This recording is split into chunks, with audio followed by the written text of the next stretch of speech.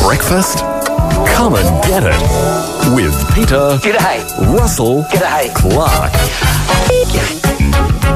And welcome to Australia's favourite celebrity chef. I'm not going to say ex celebrity chef because you're still a celebrity in my heart and mind. Peter Russell Clarke, how are you? G'day, I quite liked the ex bit. I thought that was sort of fun, you know. But are you an ex celebrity or an ex chef? I'm just about ex bloody everything, actually. And I quite like being ex. I can call you the ex Peter Russell Clarke if you'd prefer. most certainly.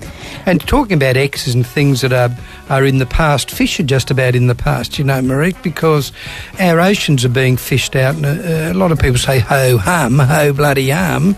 Uh, but it's quite true. Up in Asia, for instance, the swordfish, the green flathead swordfish, ain't no more.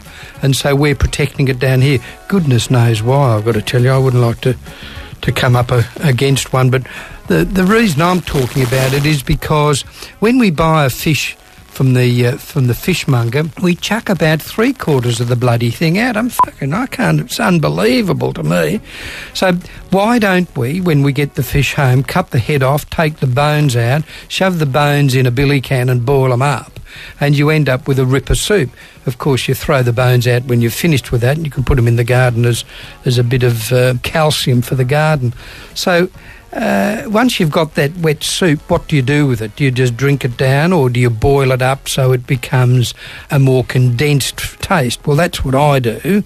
If you want to thicken it up a bit, throw in a bit of rice. If you also want to add a bit more flavour, some soy sauce or tomato sauce or both of the buggers as far as I'm concerned. And if you then want to make it even thicker, keep boiling it and adding more rice and you end up with a sort of a soggy rice. If the soggy rice becomes boring, poach an egg into it. Just drop the egg into the rice, uncooked egg, and the heat of the rice will cook the egg. Bloody terrific. And you've you've then got the fillets of the fish to save for another day. What do you make of all these uh, whaling, anti whaling protesters throwing rancid butter at the Japanese whaling ships and all that kind of palaver? Well, to be quite honest, I'm on their side. I'd be throwing old French letters, any bloody thing, because they're sailors, they have those sort of things. I'm not with the poofters that say, oh, bugger that, you know, that's a bit rude. I think it's bloody rude they're killing all the whales.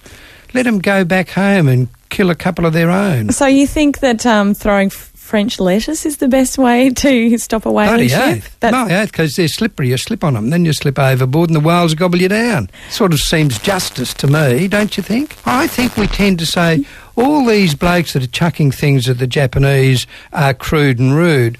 But the government's not chucking anything at them. They're not chucking law cases or we're not putting boats out to blow them out of the water. I, I think the government are a pack of bloody fucking whackers as far as I'm concerned. I'd get rid of a lot of them. I tend to think, Marieke, you and I could do a little waltz and a dance and become the regal empress and emperor. Now, that's a political combination I think Australia can count Sell on. the ABC, pocket the money and piss off. That's what I reckon. You're on. Thank you, Peter Russell Clarke. Good to speak to you and the lovely listeners. Everything I do is with an attitude. With Robbie, Marieke, and the Doctor. Triple J.